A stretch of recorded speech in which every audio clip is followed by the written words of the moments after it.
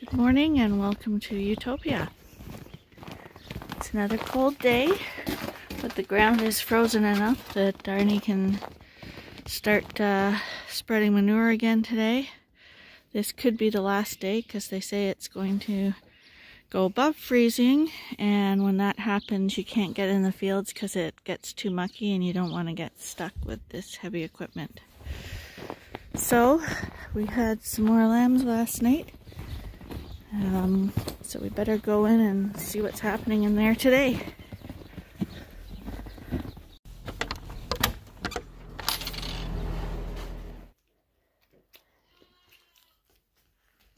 This little guy always escapes out of the misfit pen, jumps into the feeder, and then searches for me and wants a bottle. Have you finished now? Yeah, you did do a good job but uh, it's gotten to be a habit. He has to be fed first, jumps out of the feeder. Yeah, you're a character. Always there. And another ram. Okay, buddy, we gotta go feed the others. Yeah, we gotta feed the others. Okay, now I have the challenge of these triplets. He's crying. He's hungry. They didn't eat overnight because mom has no milk. But they won't take a bottle. So I'm hoping, hoping that you will take a bottle this morning. So I'm to give that a try. Okay, so this is the behavior that these lambs are doing today.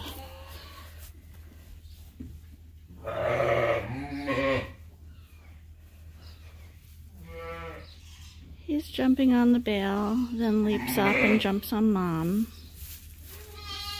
Pretty sure that's not even mom.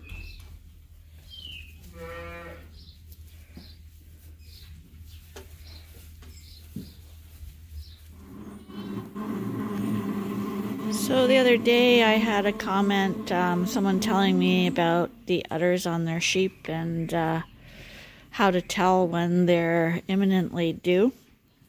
And by looking at the udder, it's extremely hard to tell that um, because if you look in, uh, this is the white group that's left. I would say none of these are close right now. However, when you look closely at the front two, one's got a hairy udder and one's got a bare udder, but they've both got fairly large um, udders that have developed already and the other two you can't even see udders on them yet. And these two have had these udders visible for quite some time now, like to the point where we thought these guys would be among the first to have lambs. And here they are. We got four left, and they're still there. So, um, what I wanted to say is that some sheep will start uh, forming an udder really early and others um, like say this one without me putting my hand under there she might have a tiny udder there and maybe a couple of days a week before she lambs it'll start to form a little more but even then if there's wool there you might not notice it and you'll come in the barn and she's got a lamb and this one's still standing there with no limb. So um, they will have an udder before they lamb, but it's not, it won't tell you how close they are. It just will tell you that yes, they are pregnant for sure. Um, what usually really indicates um, if they're going to lamb in the near future is their vulva. So if you look at her, it's um, it's kind of a pale pink, and it's um, fairly tight to her body. Um, it's looking firm. What will happen in a ewe that's going to lamb shortly is all that skin around there that you can see will start to inflame and it will go a darker pink usually and it will jiggle a bit. And I've told you in other videos, if you hadn't seen it, um, we call that um, being rosy. So it'll be kind of floppy, darker pink, and inflamed. So um, that is a sure sign that they're going to lamb within a few days anyway. Um, that is far more predictive than looking at an udder. So this is what's left of the Suffolks. Pretty small group right now. Um, it's just funny because everyone, now that they're spaced, they all lay out and have their own little spot. And right in the middle of this spot, someone else has their spot picked out. Scotty. He's just so happy being in with the sheep.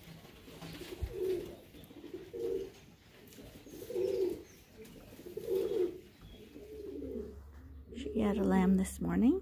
She's another old girl. It seems like the old girls are coming in later. And there he is back there. Apparently she was very defensive of him and he couldn't get close. How are you feeling? I gotta check and see if he's a boy or a girl now. Is that okay? Can I have a look at him?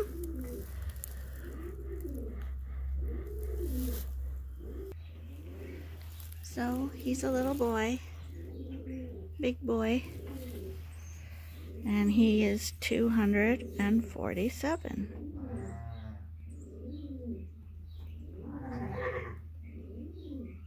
You guys are so pretty too. Hi, Cammy. How you doing? If I'm petting Cammy, you know I'm in the replacement uh, group. We're gonna just go over and see Chewy here for a second. Chewy. There you are. How you doing today? Looking pretty good. So I forgot to mention the other day. Hi.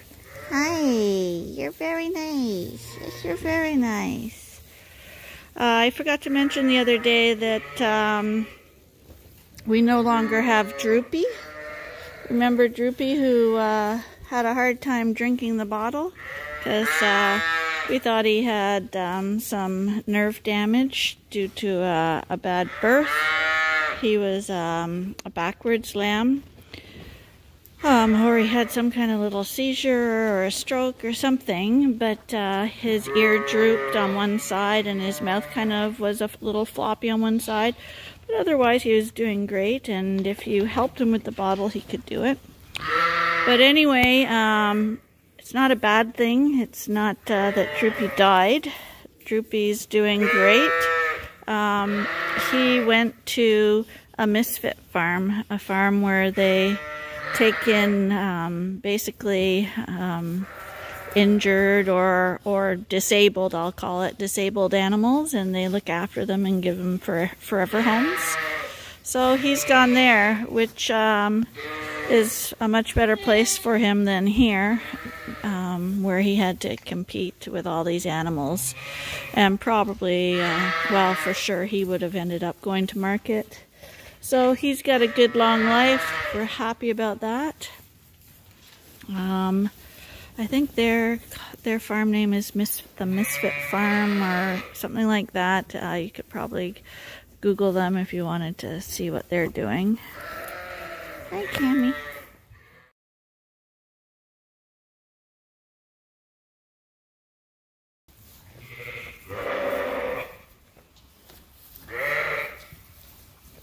This is a little lamb cluster we have going in Suffolk group number three. Hi guys.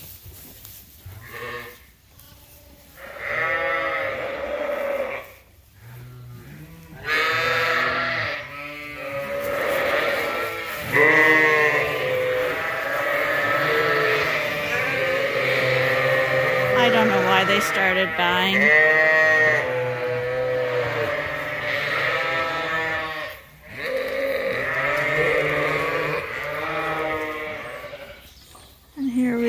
Dorset group 2. And there's the brothers.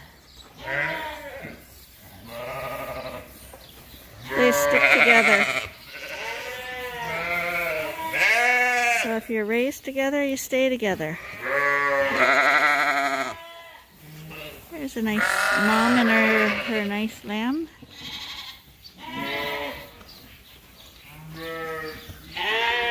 She knows we're talking about her.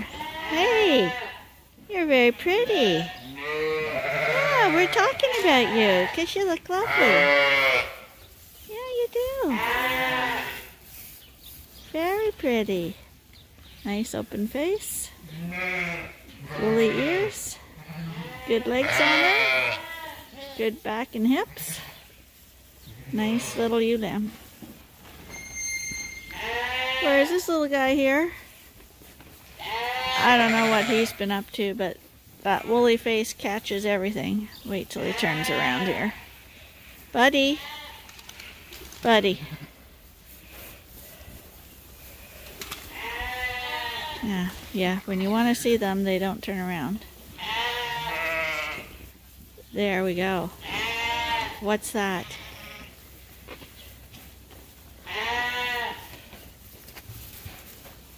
Is that a monkey? Uh, two monkey faces. Oh, yeah. Uh, sisters.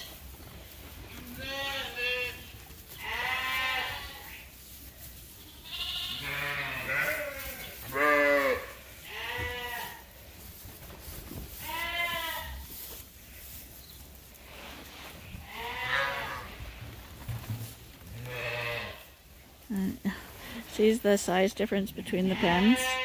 That's the back pen, group one. This is group two, front pen. Quite a little size difference here.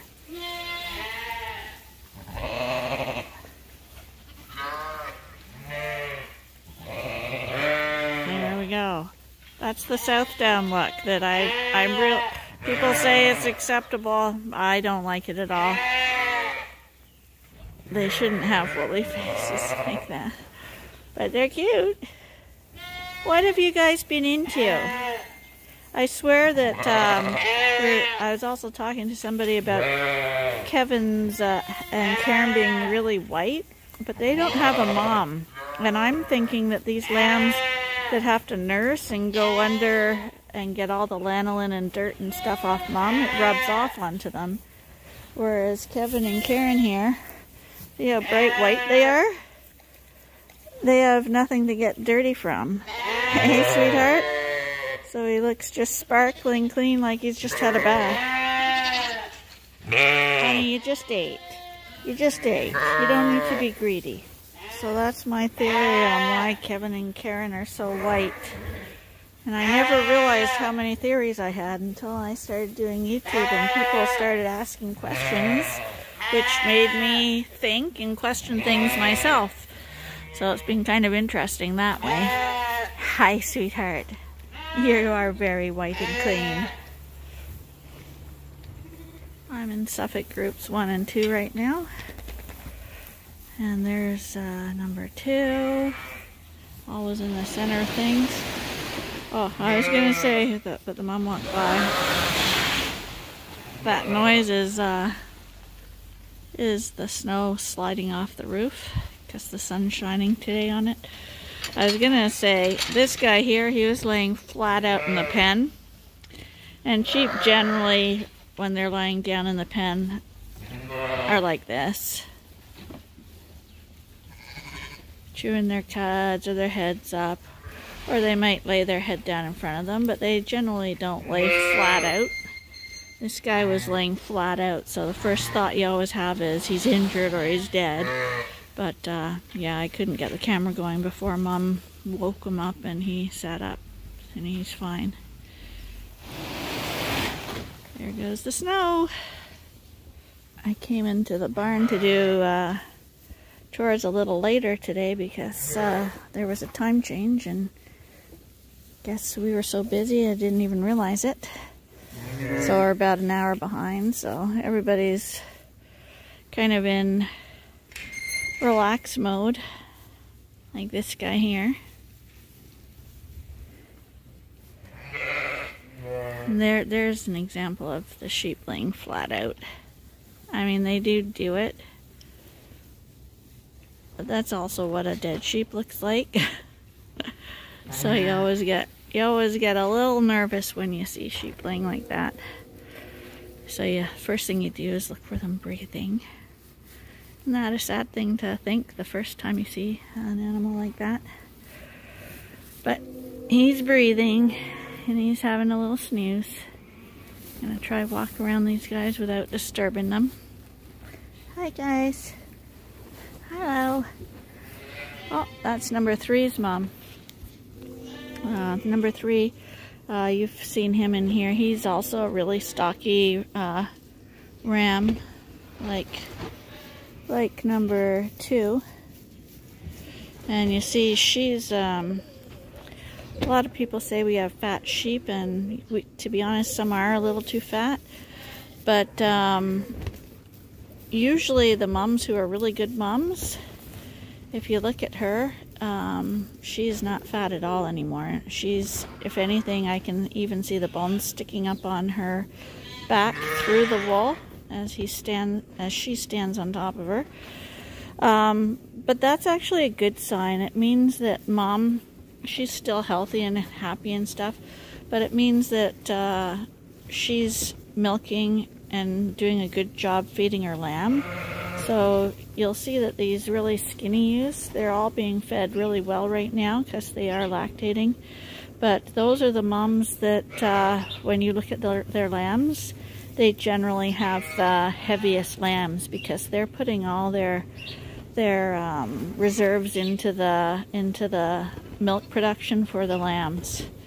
Um, and uh, conversely, if you see a poor lamb like this one, my guess is this lamb will have um, a fat mom. Fat moms tend to put it all into themselves and uh, because of that they have fat deposits in their udder uh, which restrict the amount of milk that they actually can produce so um, the bigger fatter ewes will tend to have the worst lambs and uh, of course, the um, best condition ewes tend to have the best condition lambs. Uh, you you do want uh, you going into um, lambing to have uh, good condition on her because she is going to milk it away like uh, this mom right here. So she has to have a re reserve so that she doesn't actually kill herself by milking so hard. Who's this? Why are you why are you scratching me? Why?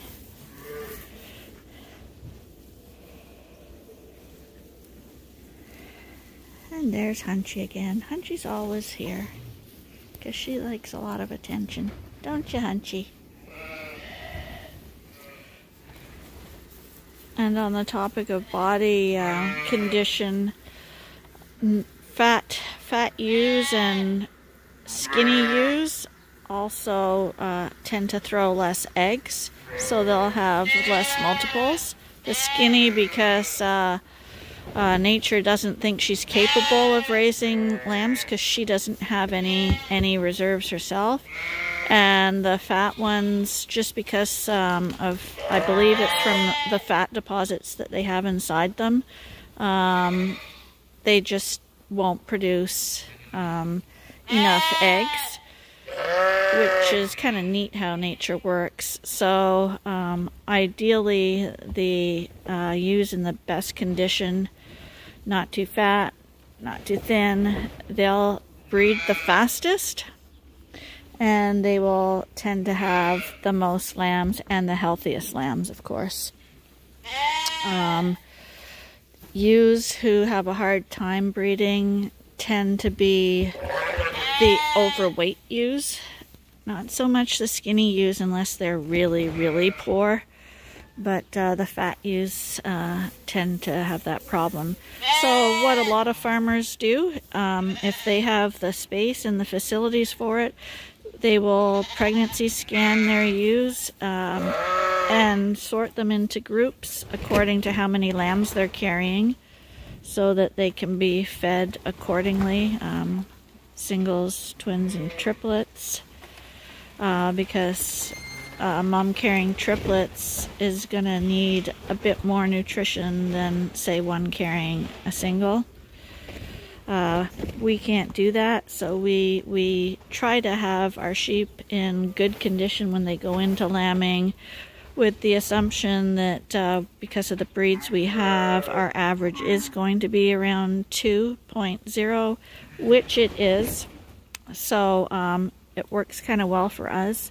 But people who have lots of multiples and stuff like that um, might uh, tend to do things a little more differently and sort their ewes so that they can be fed accordingly. This is the ewe that had the triplets. He's trying to show you she has two teeth, but we saw this already. Remember when I she was chewing her cud in the barn? I said it looked like she only had two teeth. She does only have two teeth.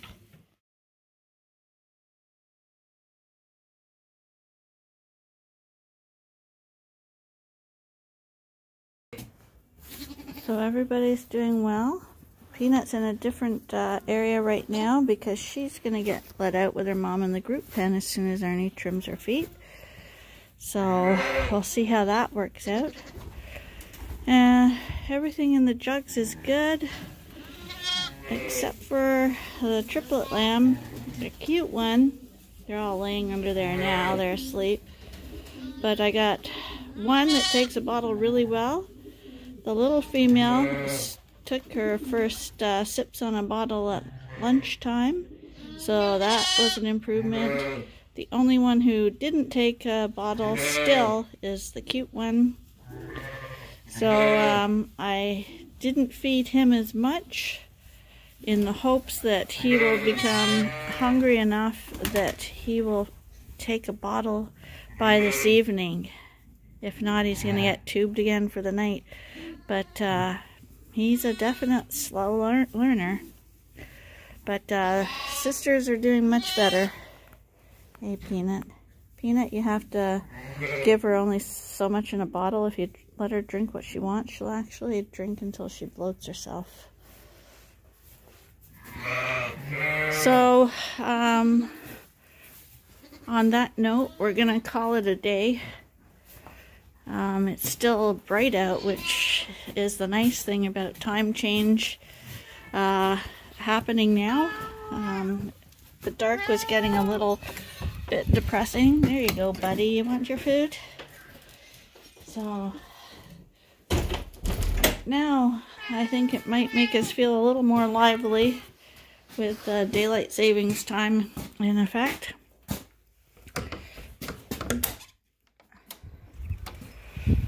So we're going to call it a day and hope you'll join us again next time for the next episode at Ewetopia Farms.